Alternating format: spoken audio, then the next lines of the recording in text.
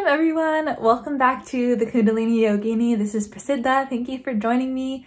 It's been quite a while since I have done a video on here, a few weeks, so thank you for your, your patience. I have been much more active on TikTok, Clubhouse, and Instagram lately, so if you don't follow me there, go follow me at Kundalini Yogini.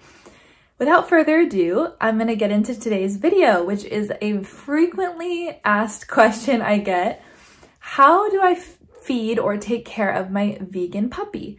Or what do I feed my dog if I feed it vegetarian or vegan? So I'm to answer these questions in today's video, give you some resources that I have used and that have helped me, and hopefully give you a little insight on how to have a vegetarian dog.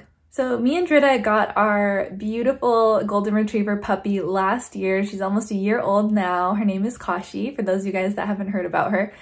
She is our daughter and our literally favorite being. We love her so much and we are truly obsessed with her and taking care of her. So we take it very seriously, um, that the, the health of our pets. And we are both vegan. And so we definitely wanted to be able to raise our dog vegetarian or vegan because feeding it meat was not an option for us morally or ethically. That being said, of course, when it's your child, you know, you you would do anything for it to make sure it's okay. So, you know, we we still were very much aware and didn't want to make any assumptions or do anything that might hurt her, right? So, um, we took her to the vet. We've gotten many consultations and many blood tests to make sure she is, you know, happy and healthy and thriving, and she is definitely all those things. So I'm going to be sharing with you what exactly we do with her. Um, first off, I just want to you know, make a note. Obviously, I'm not a vet or a pet nutritionist, so please take everything I'm sharing with a grain of salt. This is just my personal experience and research that I'm, I'm sharing my story. So uh, please do your due diligence with your pet. Every pet is different, and um, this is particularly about dogs. Cats can be much more um, challenging, sometimes close to impossible to raise vegan. So I just want to you know, set, put that out there um, so that nobody, you know, harms any of their animals. But dogs are omnivores, so they're really easy to raise vegetarian or vegan when you do your research. And of course, just make sure you're feeding them, you know, a whole foods diet, getting them all the nutrition that they need. I just wanted to preface by sharing with you that the, the longest dog to ever live, which lived till 24 years old, was a border collie who was a vegetarian dog. She was raised on lentils and rice. Lentils and rice, guys. That's what she ate her whole life. And she lived into her 20s. So it's very possible to have a longevity and peak health raising your dog this way.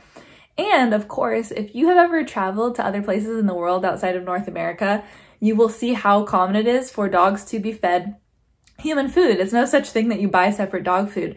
And so in countries like India, South America, they're often just fed table scraps. And of course, in places like India, most of the time that is vegetarian and it's just, you know, lentils, dal, rice, sambar, all of that kind of stuff, veggies, and they, they, you know, they're happy and healthy and thrive. So those are just some, you know, examples to help set the stage. So when we first got Kashi, I did a lot of research and my favorite website that helped me so much was called compassioncircle.com. So I highly recommend anybody who is interested in learning more about raising a pup vegetarian or vegan to check that website out. It has amazing recipes on how you can make homemade dog food completely fresh. You know, it's all in your control. You don't even have to buy outside food or if you do buy food, what food you could buy, what, what ways you could supplement the food that you make your dog to make sure it's getting all the vitamins, minerals, nutrients, and protein that it needs when it's growing as a puppy and when it becomes an adult dog. Um, a lot of frequently asked questions are answered on that website, so it's a really beautiful resource. Um, highly recommend. So when Kashi was a puppy, um, I mean, she still is, she's just turning a year old, but in her early childhood, we were feeding her a food called Benevo. And that was my probably my favorite food that I came across in terms of dry kibble. That one is amazing. Sadly, it's a little hard to get sometimes in the US, um, but I was able to find it on a particular website, which was really lucky. So that's one of the only, if not, I think the only pre-made vegan puppy food specifically that exists. So there are vegan adult dog foods, but puppies need different kind of food. They need a higher protein content as they're growing. So this is the first of its kind and I really loved this food for Kashi and she loved it growing up. And now she switched to Halo vegan dog food. So that is definitely what I recommend if you have an adult dog that you want to be vegan. Um, and that's the food we use. Now, of course, if you're transitioning your dog into a different diet, you, you might already know this, but you always should do it very gradually and continue to check in with the vet, make sure that there's no signs or symptoms that the puppy or dog is not doing well with that diet. So, you know, always be really vigilant and slow and gentle with the diet changes. Additionally, um, from that website that I told you guys about, Compassion Circle, I purchased Veg Pup Vegan Supplement and Nutritional Yeast. So both of those are supplements. One of them is a supplement. The Veg Pup supplement is something that you can put on homemade dog food. So say you make homemade kibble with tofu or you make homemade kibble with chickpeas or lentils or rice um, or all of the above.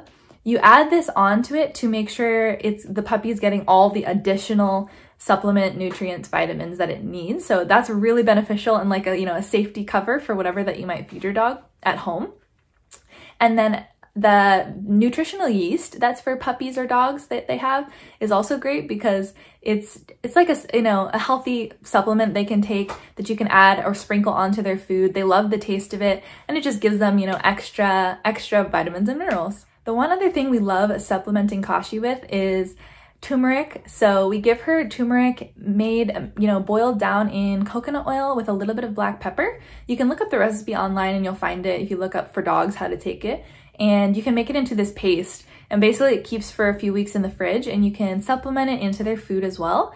Uh, I think about a teaspoon a day or something along those lines, maybe a little less. And it's amazing for joint and bone health of your dog and inflammation. So this is great for larger breed dogs as well because they often have hip dysplasia, joint issues as they get older. And this is just a way to help your dog thrive as it grows. So we give her that also, not every day, but you know, whenever we feel inspired, we give her a little bit of that. As for treats, there are a ton of vegan treats actually available nowadays, often made with like sweet potatoes, cinnamon, things like that. Um, Kashi loves all of them. Pe peanut butter, you know, of course we give her sometimes. Um, she also loves fruits and vegetables. There are certain fruits and vegetables though, you should make a list of the ones dogs cannot have, like avocado, grapes, um, pit fruits like peaches and nectarines, things like that. But we love she, she, to give her apples. We love to give her carrots, berries.